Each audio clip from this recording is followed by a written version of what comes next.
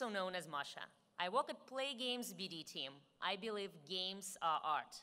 I still occasionally play Heroes of Might and Magic 3, and I literally cried with joy when I opened up all the tiles in threes. When I think about the best games to play, my mind immediately goes to unique, deep, more meaningful experiences. In other words, to indie games. Uh, indie became the genre of its own in the same way as we refer to an idle clicker to shooter or to an adventure. And this specific genre makes people all over the world really excited about video games and motivate them to tweet to their friends, oh my gosh, you should totally check this out. Today, if indies didn't exist, we would only have big and mainstream games. And we would live technically in the gamer's horror grunge hog day where you pretty much play the same game over and over again. But luckily, we do have freedom. We do have freedom to choose what games we want to play. And this freedom is one of the best and most beautiful things about video games. And we should say thank you to indies for this choice. Thank you, indies. Why not why not everyone can come up with the next big game on mobile? It's very important to support artists at each stage of their creative process and reward them for risks. On other platforms, we already saw proofs that indies do not cannibalize on the success of mainstream and big titles, but they coexist in the comfortable space, attracting new players and entertain those who are in wait. Uh, they do coexist on PC and consoles, but not on mobile. Not yet.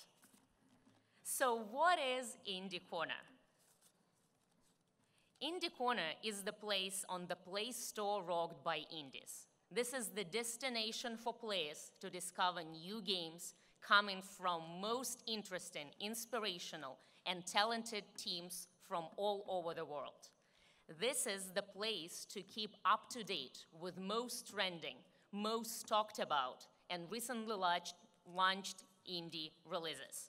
Also, this is the Hall of Fame, where players can discover the true masterpieces of independent game development crafted for mobile.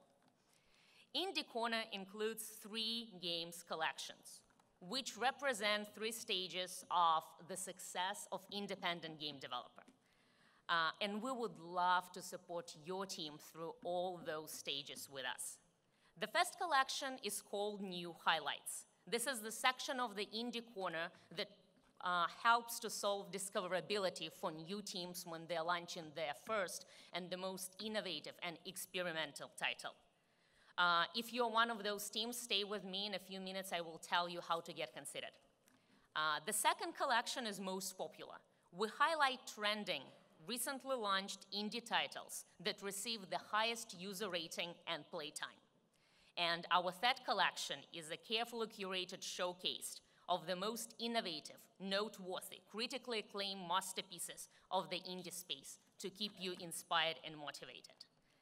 And I'm thrilled to announce you that we have already launched our first collection on the Play Store. The collection went live on February 25th, and we are planning to update it on a monthly basis. Besides being just a showcase, Indie Corner empowers developers to take advantage of existing free Google Play tools and to optimize their uh, presence on the platform. Player Analytics provides a better view into players' behavior and help with fine-tuning a free-to-play game and developers working on premium titles can protect their creations by using Google App licensing. I'd like to feature a very passionate and talented team from Singapore, Spring Loaded. This team did a phenomenal job tuning their game, The Last Vikings, with uh, actionable feedback from player analytics. They achieved material improvements in their KPIs, as you can see, and uh, received a feature in Indie Corner. So how do you get started? I would like you to take out your phones right now and take a picture of this slide.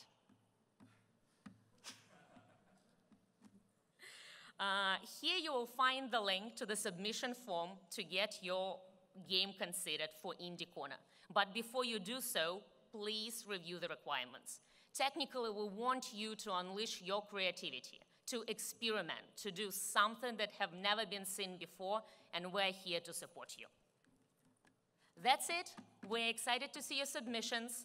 We are thrilled to grow this space together with you, and uh, you can find me later during the break or at round tables to ask any questions and talk more. And please stay awesome. Thank you, and play indie.